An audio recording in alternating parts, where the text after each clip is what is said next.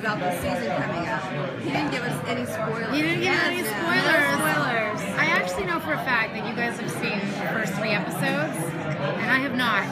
So there are things that you know that I don't. So how is you get to play dead mother to the creepiest kids ever? Yeah. Uh, what was that like? Mama Bear and her cubs. I was pretty lucky. I mean, these new assistants, this new family that Kelly has, they do her bidding. They do all the dirty work, and, and they, as performers, are also so incredibly gifted, physically, and just the sweetest personalities. I couldn't believe how dark the subject matter was and how much fun we had on set. When Carlton told me what was happening in the second episode, I thought, how am I going to sleep at night? How am I going to live with myself? And came the day, we just had so much fun, and the kids know it's make believe, and they love the makeup, and it was just a ton of fun to work with them all season four.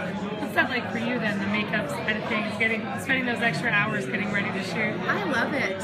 Um, it's four and a half hours. I talk the whole time. I'm not claustrophobic. I'm a people person, and the people that we work with in special effects makeup are so great, and we get to spend many hours together, as you know. And um, I feel like their artistry makes the job so much easier. You know, the I'm not that scary as a person, but when they're done with me, I certainly am. And VFX, adding in a stinger is also very helpful. And the sound effects, there's some really interesting arachnoid, insectoid sounds that we that we have when we move, especially the children. And they just do so much of the work for you. They make our jobs so much easier, and we get, to show up and have fun. Does the show give you nightmares?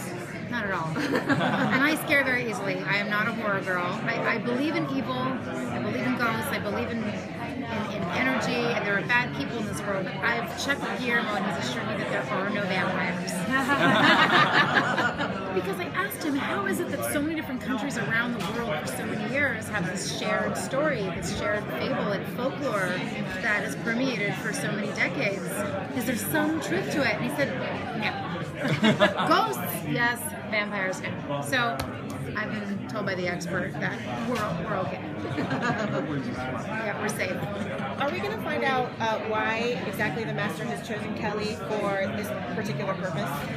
I think it's her closeness to her son and and Zach's proximity to the merry band of vampire hunters, and he wants to get to the group of them, and knowing that Kelly will stop at nothing to get to Zach.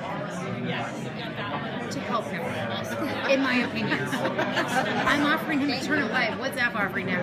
I feel like he's vulnerable, he's not protected, he's in danger, and she wants to connect with him in the only new way that she knows how, and I think it's quite tragic, and she's relentless this season, will stop at nothing. And the master knows that, and he's looking to exploit that in every way he knows, which is why he's bestowed this new family upon her to help her in her mission.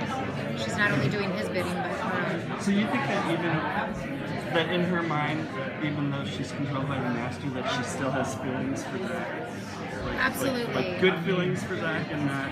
It's a void. I mean, if you could ever imagine the horror of losing a child, if your child was missing, and the void, and you'll stop at nothing until you find him or her and know what happens. And I think she also has access to memories and things that will help her in her mission. And there may be new ways of experiencing feelings, but Strigoi, highly functioning ones like Eichhorst, like Kelly, do have somewhat of an emotional palette. Obviously, Eichhorst is far more sophisticated than Kelly at this point. She's still a fairly newly turned vampire. But as the season progresses, um, there is a um, a deeper well to draw upon. Are we going to see you physically transform more, or, or is this it for now? The flesh only continues to rot, which means an extra 15 minutes of layers in the chair, and the hair. You know, there's a, there's a few left on top of the head.